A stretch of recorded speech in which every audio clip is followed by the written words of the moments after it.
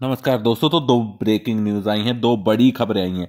डरने की कोई बात नहीं है बैंक ऑफ़ इंग्लैंड ने रेट हाइक किया था, जिसकी वजह से प्रॉब्लम क्रिएट हुई थी। फेड की भी वही कमेंट्री है। तो इस वजह से मार्केट ने थोड़ी करेक्शन दिखाई है, पर स्टॉक ने उतनी करेक्शन नहीं दिखाई, क्योंकि न्यूज़ क्या थी देखिए।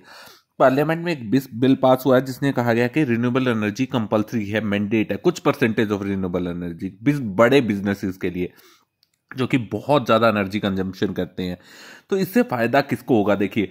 बड़े प्लेयर्स अगर रिन्यूएबल की तरफ़ जाएँगे तो वही प्लेयर्स होंगे जो रिन्यूएबल डील कर रहे हैं, जिसमें अडानी ग्रीन आता है रिलायंस आता है और टाटा पावर आता है। तीन बड़ी कंपनी और इसी में दूसरी खबर जो है 2024 तक कमीशन हो जाएँगे एंड तक क्या हो जाएगी? 8.7 गीगा वोट की सोलर पीलाई की स्कीम की जगह मॉड्यूल मैन्युफैक्चरिंग की जो कैपेसिटी है, जिसमें से चार गीगावाट तो टाटा ही कर रहा है। तो ये ध्यान रखिए 2024 क्या है? अगले साल एक से डेढ़ साल का एंड है। और टाटा तो मेरी ख्याल में अगले साल के एंड पे ही खत्म कर देगा 2023 साल के एंड पे ही। तो ये पीएलआई स्कीम के अंडर जो चार गीगावोट की कैपेसिटी वो बना रहा है तो वो कोई छोटी मोटी कैपेसिटी नहीं होने वाले, उसकी वजह से बहुत बड़े बड़े फैसले होने वाले हैं। तो ये ध्यान रखिएगा, आने वाला टाइम बहुत बढ़िया होने वाला है इन तीन कंपनीज़ के लिए।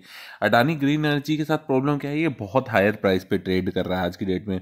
अगर मैं कहूँ तो साढ़े सात सौ के पी रेशियो पे कर रहा है छः सौ के पी रेशियो पे कर रहा है तो वो बहुत ज़्यादा है। पर टाटा पावर और रिलायंस अभी भी बहुत अच्छे पी रेशियो पे ट्रेड कर रहे हैं।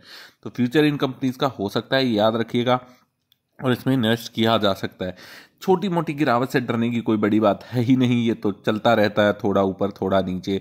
और गवर्नमेंट के ऐसे अच्छे अगर और भी बड़े डिसीज़न आते रहे, जैसे कि आपको कंपलसरी है रिन्यूएबल में इतना करना तो ये इसके लिए और फ़ायदेमंद होगा। तो लॉन्ग टर्म का सोचिए और सोच समझ के इन्वेस्ट कीजिए। धन्यवाद।